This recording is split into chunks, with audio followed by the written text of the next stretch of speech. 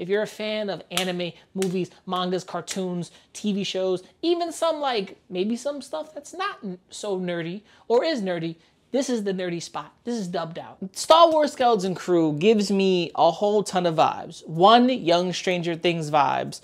Two, good energy. Three, it's something fresh from Star Wars and written by Jon fucking Watts. I gotta give it to the man. He can write kid shit. He can write stuff about being a young kid, young stories the angst and all that. Also, Jon Favreau and Dave Filoni is working next to it. So you know these kids have been told stories of the Jedi, of the galaxy far, far away, the galaxy that they can't touch. And you know what is interesting about this? It gives me Goonie vibes. From Goonie vibes to E.T. vibes to all that shit. And then the wider galaxy gets opened up. I fuck with that because you're telling me something about Star Wars that I already know, but through a child's perspective, it's brand spanking new, right? Imagine being a fan, growing up this shit for like 35 years, and now you see Star Wars grow again with the younger generation that's just now getting into it. This is for the younger. It's coming out December.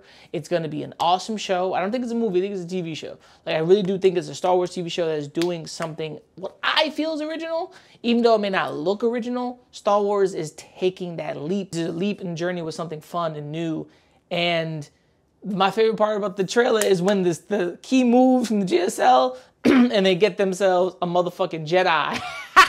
He's bald as shit. Bald, bald. Like that is that's monk energy right there. Let me know what you think of Star Wars Skeleton Crew. I fuck with it. I like it. I think it's something good. But let me know what you think. Do you fuck with it? Do you like it? Let's continue with more dubbed out, baby. Things showcased at D23, right? D23 was like a couple weeks ago. Yeah, Toy Story 5, Incredibles fucking 3, let's go, let's go. I don't know what you know.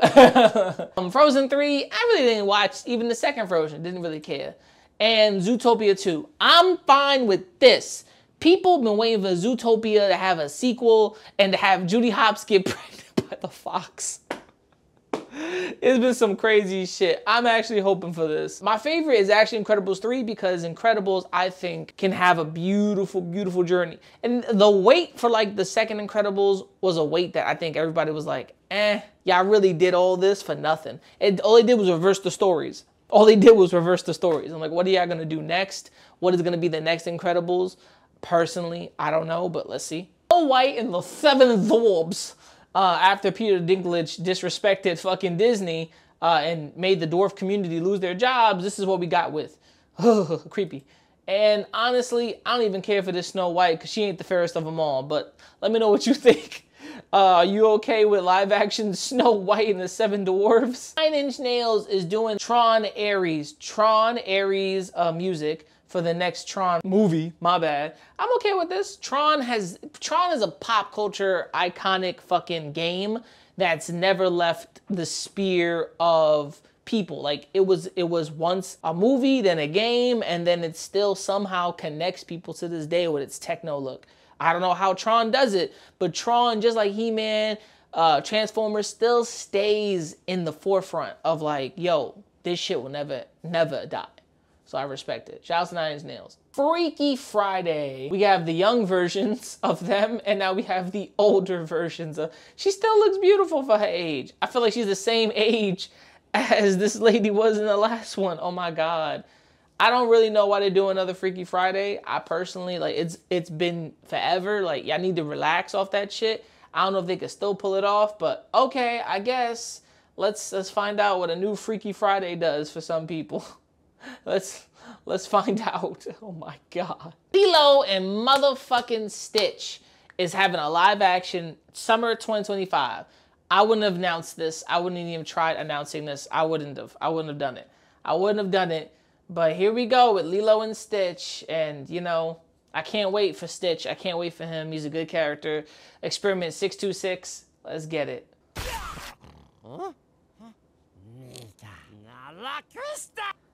Sound he said the N word. Everybody been like, he said the N word. He said Nika. He didn't say nigga. Relax. He said Nika. Yeah, I best that. Like Nika is a it's usually what they say, um, almost like Nikaha. Uh, what the fuck did they say? Like oh, Hawaiian speak. So it, this was basically part of like the song. So it ain't a bad.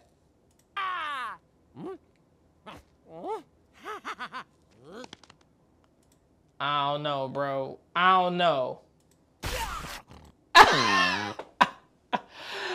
uh, can they please tell me they created a puppet version? Please tell me they created a puppet version because I really don't want this whole thing to be CGI. Like I love Stitch, I really do. Like that if you go back to like the cartoon era, like he had so much emotion in his face, you know? He could do a lot. This is Stitch.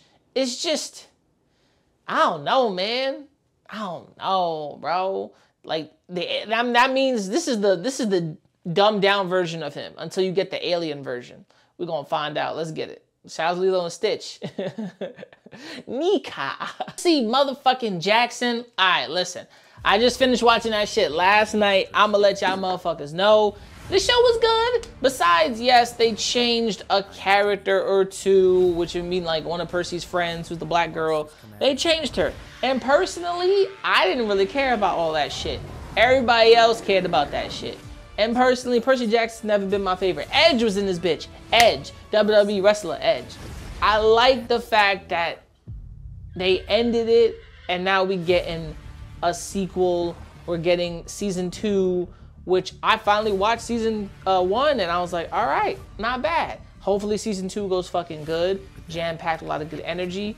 Let's see what they can bring to the Olympian Games. How much of the books are they adaptations? Are they creating? Percy Jackson, and the Olympians. Let's fucking go. Season two. Mandalorian and fucking Grogu, nigga. The Mandalorian and fucking Grogu, nigga. Okay, so I didn't watch The Mandalorian season four, like the final one. I just didn't. I didn't care about it. I didn't really give a fuck about it. I didn't. I gotta be honest with y'all. I like The Mandalorian. When he let Grogu go, it felt like a season finale. Now this nigga's just carry around his little shit and it's 2026 and I really don't give a fuck. Like if y'all announcing this now, I don't care. Pedro Pascal will be how fucking old at that time, and he could, all he's doing is voicing the character. He's not even being inside the suit. So I personally don't care. I like the idea. I just don't care. The the Mandalorian when he let the fucking baby Grogu go to Luke, that should have been it. That should have been it. But Disney was like, no, cash cow. Get the fuck out of here. Let me know what you think of the Mandalorian and Grogu TV show. Let me know. Comments below. Avatar 3 Fire and Ash. So we have some crazy fire looking Na'vi. I like how somebody put like a, a black Na'vi with red hair. Uh, these shits look creepy. Like this looks like the creepiest part of this planet. Fire and ash. And then we see like a weird looking ship. So, all right, I hopefully um Avatar Fire and Ash does well. The, I don't know how the last one did because I didn't watch it. I think it, it made a significant amount of money uh, let's go. Uh, James Cameron's been talking about these fucking movies for years, and he's finally making them. Oh my fucking god, Cameron, what the fuck? So, Avatar 3, around the corner, Fire and Ash. Let me know what you think. I personally don't care, but let me know what you think in the comments below. Yeah, I know this man, right? Uh, Ke Huy Quan, who used to be in the Goonies, now is voicing Gary from Zootopia uh, 2. That's okay. Shouts to Ke Huy Quan, Ki, Ki Hai Kwan, Ke Huy Quan, Ki Hai. Shouts to this nigga. Shouts to him, okay? He's from the Goonies to Loki to um every everywhere, everywhere and always, and to now voicing the character in Zootopia. You know what I'm saying? Shout out to this man who's got a Grammy. Uh, shout out to this man who is Emmy Emmy nominated and who's an incredible actor. Shouts to Boss Logic, Rachael Lillis, the voice actress of Misty, uh, Togepi has been an icon. She passed away of cancer. Um, it's been probably a long uphill battle. She voiced uh, Jigglypuff, Misty. She voiced Jessie. This is the original OG Pokemon voice actress, and she's gone. And it kind of sucks. sucks because she added so much to our childhoods. She added so much to our everything, man. It's a little weird to talk about this because I grew up watching Pokemon. I grew up listening to these people voice these characters. And now that I'm older, it's kind of sad that they're gone. I hope beyond everything, remember this. She is gone. A lot of voice actors are gone. A lot of people are gone. But if they're performers and they performed, they're never gone. Their voices are always here with us. Their acting is always here. What they left behind is what we can remember and still listen to them to this day. Her family and friends, I hope and give you all my prayers And God bless you. And Rachael, thank you for lending your voice to many generations and giving people hope and inspiration to one day voice act. It's sad, but please keep your head up and remember Rachael would not want us to cry as Pokemon fans or anybody. She still leaves behind an incredible voice and awesome characters that we can still enjoy to this day. Let's get it. Thank you once again. Welcome to the channel. Check out all the trailers, all the awesome stuff. And I appreciate y'all. Let's get it. Let's get it go. It's been a good time. And you look, if you liked everything that you've watched in this video so far, make sure you like, subscribe, hit the bell time notified. So peace and enjoy everything nerdy. And don't get mad because the real world sucks. This is where it's at. Dubbed out. Peace. Shit. Getting on drum. Getting on drum. This is the last. You little niggas gonna stop acting like my shit ain't the grill. This is the Some of you one. niggas get your front teeth for grills. And I ain't talking about the contract. Alright. Gotcha. Ain't loving these fake hoes. Room smelling like eight switches. Room service like 2K. NBA, I'm ballin', nigga. All them niggas falling like all them nigga. Talking shit, I saw them niggas. Now they daughter want a picture. Rough, ain't it? Fuck famous. Yeah, man. Niggas too real, got the most haters. Wrote a story, so Stephen Curry. How it feel to be golden?